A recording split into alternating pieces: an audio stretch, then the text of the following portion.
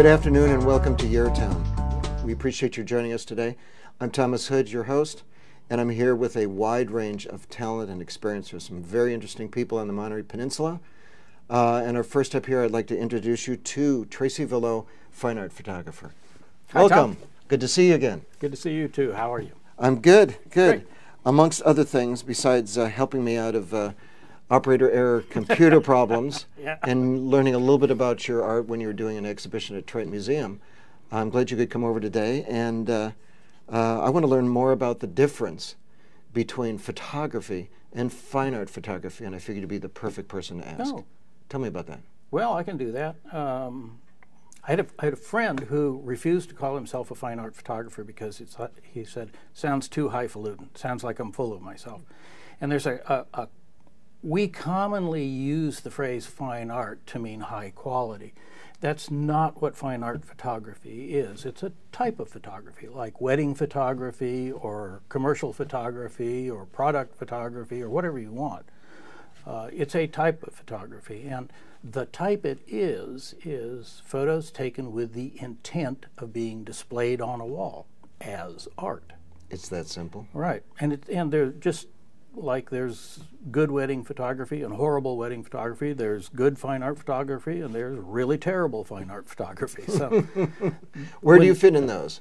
You've been doing Uh, this since you, were 10? You, right? can't you can't ask me where I fit. That, that's a judgment made by other people. All right, but as I understand, you're down in San Diego at age 10. Mm-hmm. You build your own darkroom. I did. What was the inspiration? Uh, necessity. Uh, I went to Disneyland with my parents, obviously at that age, and I bought a little itty bitty tin camera in a little cellophane bag, you know, that was about that big, literally, because I wanted to take pictures. Like a Minox, only yeah, made except of tin. yeah, it made a tin. It was about fifty cents or something. And I took a bunch of pictures, and I thought, oh, great, I'm going to memorialize my trip. And so I took them to the drugstore, and the guy looked at it and said, "Are you kidding?"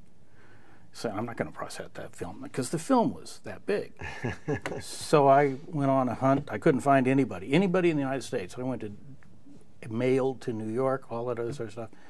And finally realized that if I wanted to see the pictures I took, I was going to have to develop the film myself. Nobody would develop your first work. No, no. So I That's like a, I went a- into that's the like a painter room. trying to sell his first piece. Yeah, yeah, probably. I went into the laundry room and sealed it all up and started choking on fumes and did that for decades. And you were hooked. I was well, was there one particular artist that really sparked your eye? We were talking earlier about early 20th century work in the United States and Europe. What, who's your There- inspiration? At some, I was raised in an artistic family. My mother was a painter and my father was a writer, and and um, and photography for me was like it is for most people. It was just a way of recording memories. Um, until one day I saw a photograph by Otto Steinert called variously called the pedestrian's foot and it's very abstract. It's a circle and a line and a tree and kind of a blurry foot walking. Fairly famous photograph but I I was just immediately hit by the fact that oh my god photography can be an art form because this thing was just And this, you're, beautiful you're 15 years old at that point or something? uh, about 15 as a matter of fact I believe that's right All right. Well, we mentioned earlier we were talking about photographers, and um, I'm I'm photographer, not fine art, you know, right? And I trained in my dad's Leica, but my inspiration didn't go into photography, went into architecture, but it was uh, Cartier-Bresson's shot of the bicycle going by at the end of the passage, and that I think was shot in Paris. good choice of photographer And it sh- it just stuck in my mind. Yep. So Yeah. when you mentioned uh, Steinert, I could I could understand the connection. Okay, so you're you're photographing. You start doing computer program in '78, which is that's like in the, the Bronze Age. Yeah, approximately. oh, I had to earn a living. you Fortran? know. No, no. I started with assembly language, uh, which a lot of people don't even know what that is these days, and then uh, moved from assembly language to Pascal to C to C plus plus. And after 30 years, I threw Well, my hands up. but this led to some pretty amazing clients: Apple, Disney, Sony, National Geographic, McGraw Hill, PBS. Yeah, and they weren't. You obviously grabbed onto this emerging technology and really Well, ran they, with it. and those weren't all um, all programming clients. Uh, National Geographic uh, was um, artistic work. I created a multimedia uh, program for them. Mm-hmm. Um, Disney, Uh, if you ever saw The Little Mermaid, the titles of The Little Mermaid, where she swims in and it says The Little Mermaid, Right. they kind of wiggle in the water like that. I did the wiggling. So, Well, that's An there's odd- there's more of your collection of artwork. It's not hanging hanging on a wall. It's on everyone's yeah, that's right. It's on TV set. DVDs. And then you started teaching after this.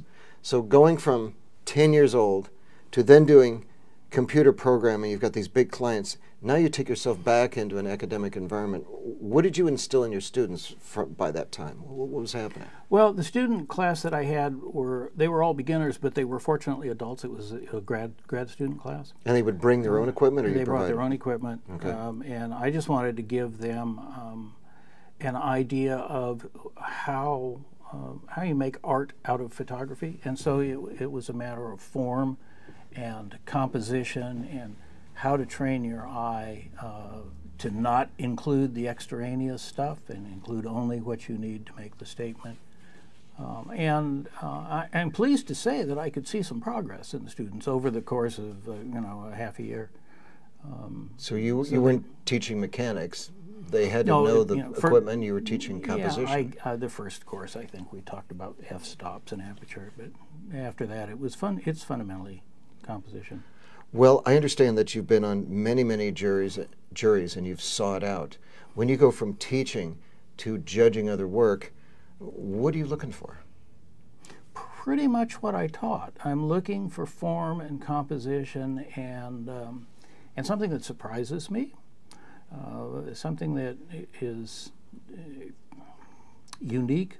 I, I just uh, I just judged a category of photographs for the uh, Cal Expo uh, up in, in Sacramento. I didn't go there. They sent me the images, and um, the uh, the the photograph that actually won the expo turned out to be in my batch of photographs, and it was a, a combination of a hillside, uh, shooting across a valley with fog rolling in it, but right smack in the middle of the picture was the undercarriage of a very modern bridge that just went up and out the corners. And the contrast between nature and this architectural masterpiece um, was so stark and so, um, I don't know, just fascinating, unexpected. In those pieces that you were evaluating, different subjects, landscapes, abstracts, people. No, actually, it was uh, landscape. My categories were landscapes and uh, life in California. So that a lot of people in the latter. That sounds like a lot of fun. Yeah, right. was. So, with all the uh, permanent collections you're in, you've got you've got works in Crocker, the Triton, uh, the Montage Foundation. Mm-hmm. As they've taken your pieces, have they pulled from a wide range of your portfolio, your completed work, or yes, are they looking I'm- for particular No, things? I'm very happy to say that uh, I'm not the guy who photographs mailboxes. you know, so my work is my work is so varied that it annoys a lot of people, but it seems that museum curators like that. Well, let's take a look at some of these. Uh, let's bring up the uh, first photograph. I don't know if these are chronological, but uh, I didn't realize you were doing black and white work. Oh, this is uh, in Marina at uh, oh, something Paddon Park. Uh, my wife Is says, this Elkhorn Slough? uh, no, no, uh, Locke Paddon Park, over by the library in Marina. Oh, okay. All right. And um, when we first moved out there, uh, I, I drove past there and I said to myself, someday I'm going to come out here and I'm going to take a picture of a heron. you know, just eight years later, my wife said, "It's it's 5:30. Get up, you know, go out there to go out there to the lake, take some pictures." Okay, fine. There you go. So I went out, um, and that's all the way across the lake. That was taken with a telephoto lens. And when I got out there, the heron perched on there was not there. And I took some pictures to the left and some pictures to the right. And when I swung back, there was the heron that I imagined would always be there. He just magically appeared. So I grabbed the shot, and I grabbed a few more and a few more. And I, okay, I've got enough. And I turned away, took a couple of more shots to the left, turned back, and he was gone. Were you shooting film? No, this is all digital. Okay. I, I left film about 14 years ago. So this not only was a, a moment for composition, but uh, but time. Uh, it was, 10 minutes it was- later, it, it would was have been a time and shot. serendipity and uh, a little bit of magic. Let's uh, let's keep these going. This, this is Sure, This is fine. fascinating to hear from you on these. So what's next? Oh, there is a famous Chinese uh, photograph called "The Six Persimmons" by Mu Xi. Very, very famous. Um, and this is my um, homage to Mu Xi's uh, persimmon picture. The, it's laid out almost identical, close as I could come, and the tonalities and sizes are about the same as his uh, his persimmons. Um, I, I think it's one his persimmon work, not this, is one of the most fabulous and elegant um, sumi-e uh, paintings, done very very quickly, and, and it's um, extraordinary. Architects do the same thing, homage to a particular Yeah. date or architect, and you can you can feel, you can see that influence right there. Yeah. What else have we got here? Let's take another look at another one. Ah, I call this one vintage. Um, it's uh, uh, an old Carpenter Gothic um, that was, I believe, moved to that location. It's on I've River Road. I've seen that building. Yes. It's on River Road, and I believe the the intent was probably that the winery was going to um, fix it up and, and use it as a tasting room or a visitor center or something or other like that. But uh, when I got out there, the uh, the vines were um, in between. I don't know what that's dormant, and uh, and so was the house. It looks like it's actually floating on top of the, uh, the it sort of dormant does, vines right there. it? Yeah. Love it. Let's see the next one here. Ah, this one appeared uh, in Outdoor Photographer magazine. Um, I, I did not solicit them. They called me. They had run across it on my website and said, "Oh, we love it. Can we use it?" And I said, "Sure." Where was this? This is Yosemite, Okay. uh, up up above the valley, uh, and on Tioga Road somewhere, or just off Tioga Road somewhere. it's refreshing to see a shot of Yosemite that doesn't include the falls Yeah, and that or Half Dome. that uh, that cloud, it, there was a, a a breeze, a calm wind, whatever you'd call it, but it was it was moving along pretty quick. So here's the element of time again. Element of time, and I actually had to run. My wife pointed it out to me, and I had to run to get ahead of it. And threw myself down on the ground and hit it just as it was in the right position. And you know, half a second later, it was over the tree, and two seconds Completely later, it was different gone. mindset uh, and approach than uh, than your onions. Yes, right. Okay, let's keep these going. These are great. Yeah. I like this. Now, I like there's this a lot. the the images that you've you've seen are uh, so far are pretty images, Mm-hmm. but there's uh, particularly in more in more um, uh, modern um, art, there's a need to tell a story, um, and uh, it doesn't mean that fine art can't tell a story, but fine art appeals to the emotions more than it does to some kind of cerebral process. This uh, this image, which I call exit, um, I find you know, storytelling is slightly ironic there uh, from within the confines of all this concrete and gray and tile and, and so on. Is this great huge window, which doesn't do anything but look out onto a great huge white wall. There's no vanishing point that's perceptible. You've got this Renaissance-inspired one-point perspective that doesn't go anywhere. Right, right. and there, the only color to speak of in it is that blue stripe of real freedom. Mm-hmm. And I, I call it exit based on the sign because it's fairly obvious that if you wanted to go out and get to that freedom, you would go out that door, but unfortunately, you'd be greeted with a white wall. And you're going, per, you're going Yeah, parallel it's- to the vanishing point. So that uh, that's it's actually the Marina Post Office. Okay, let's see what else we've got. Ah, okay. Here's a comment. I'll get in trouble from some people. This is my um, my comment on um, spirituality in the modern world. The name of this image is "God Talks to Me." I'll just leave it there. Again, another moment in time, though. Yes. Sunrise, No, actually, sunset. the cloud, sunset, Sunset. the cloud, Mhm. and the only permanent thing in the picture is the old uh, set of uh, the old TV antenna on top Yeah. of that. All right, let's see what else we've got. All right, Oh, I like this. This is an award-winning uh, photograph. It's in San Francisco, uh, and it's a it's a it's a good example of what constitutes fine art.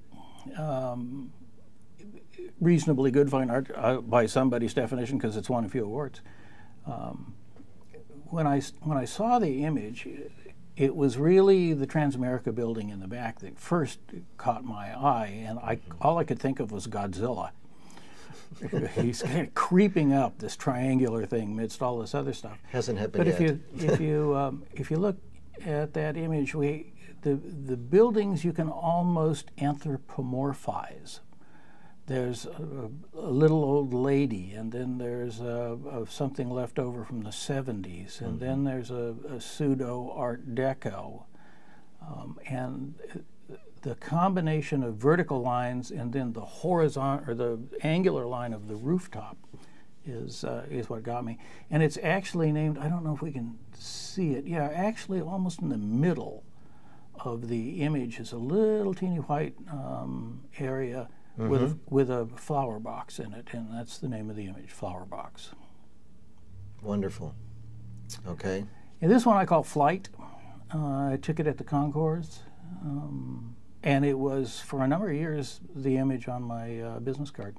I've since changed. I recall that. I mean, it has that emblem on the on the car has such a fluid quality at the Uh-huh. bottom. It almost looks like you've done this, this with acrylic. Yeah, you know, That's wonderful. Yeah, that That's was that was a sort of like a found image. The the actual photograph was a little larger than that, and then I realized, ooh, if I crop this, I might have something. Let's see a couple more here with the minute we have left here. Uh huh. This is Birth of the Universe. Uh, people, this is also in um, in one of the museums, and it's um, people ask what it is, and I refuse to tell them. I've got an idea. Was this taken the same day you took the previous shot? No, So that's not the uh, rear window on a convertible. no, no. It's Taken not. from the back It's a good guess, but no. All right. I thought I'd give it a shot. Uh, it's it just struck me as, as as the birth of the universe, Well, and it's- it, it's we've gone from fairly traditional photography now we're we're in the last couple moving into kind of abstract and more conceptual uh, uh, types. Well, not conceptual, but abstract. this last piece, and then you've got an exhibition piece we'll show up next.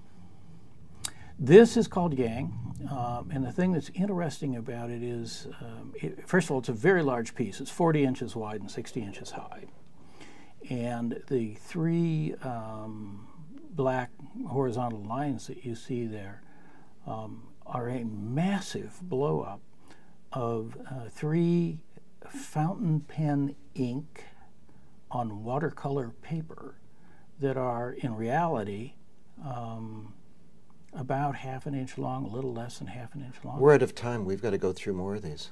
oh, are we done? Okay. We're done. All Thank you so much. You've been watching Your Town. That was perfect. You bet. Thanks, Tom. That's good.